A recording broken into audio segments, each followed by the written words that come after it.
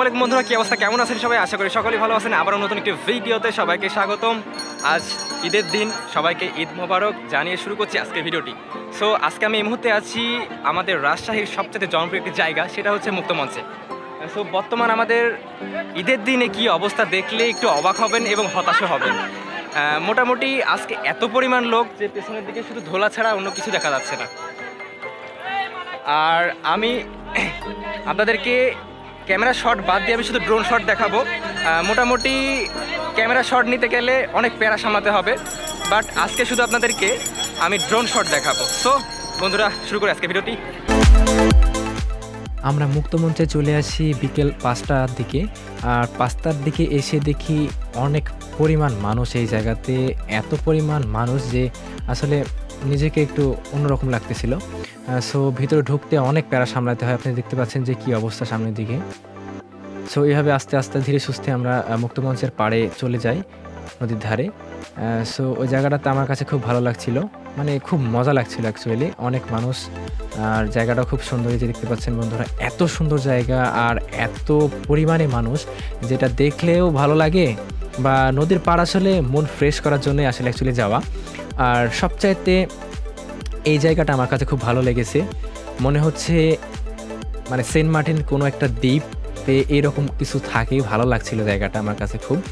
আর কক্সবাজারের ফিল পাচ্ছিলাম কিছুটা। মানে মজা লাগছিল অ্যাকচুয়ালি খুবই সুন্দর লাগছিল। আপনাদের কাছে কেমন লাগছে অবশ্যই কমেন্ট করবেন। সো মোটামুটি আমরা এনজয় করেছি ঈদের দিন। ঈদের দিন অ্যাকচুয়ালি বের হওয়া হয় না সেই রকমভাবে সো আজকে বের হয়েছিলাম আর মোটামুটিভাবে ঘুরেছি ঈদের দিন।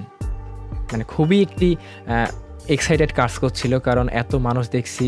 আর ওই পারে যেতে চাইছিলাম, কিন্তু বাট এত পরিমাণ গ্যাঞ্জাম ছিল নগাগুলাতে মানে যেতে একটু ভয় লাগতেছিল।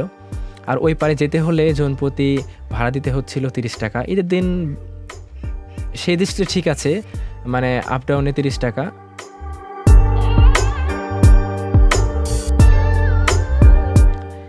অ্যাকচুয়ালি ঈদের দিন আমাদের সেরকমভাবে কখনো ঘোরা হয় না ভালোভাবে। সো আজকে এই জায়গাটা আমাদের কাছে খুব ভালো লাগছিল। ভালো টাইমটা পাস করলাম। আর আস্তে আস্তে সন্ধ্যা ঘুরিয়ে এলো। আর মোটামুটিভাবে আমাদের ঘোরাঘুরি শেষের পথে। সো আজকে আমরা মোটামুটিভাবে এই জায়গাটা ঘুরলাম। আর সকলেই জানেন যে রাজশাহীর পদ্মা নদীর তীরেই যেই প্লেসগুলো আছে, সেগুলো খুবই ভালো লাগার মতো একটি জায়গা। তার ভিতর মুক্তমঞ্চটা খুব সুন্দর। আর ঈদের দিনে যে এতটাই মানুষ দেখব, এটা আসলে ভাবতে পারিনি।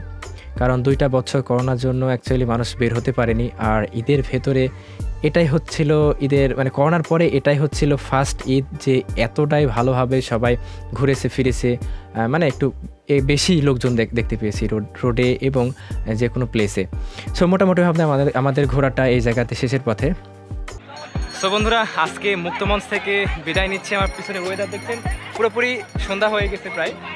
আর আজকে এখান থেকে চলে যাচ্ছি। তো সবাই চ্যানেলটাকে বেশি বেশি করে সাপোর্ট করবেন। শেষ টাইম একটা আইসক্রিম হয় আর সামনে আসতেছে নিত্য নতুন ভিডিও তো সবাই আমার জন্য দোয়া করবেন। খোদা হাফেজ বাই বাই টেক কেয়ার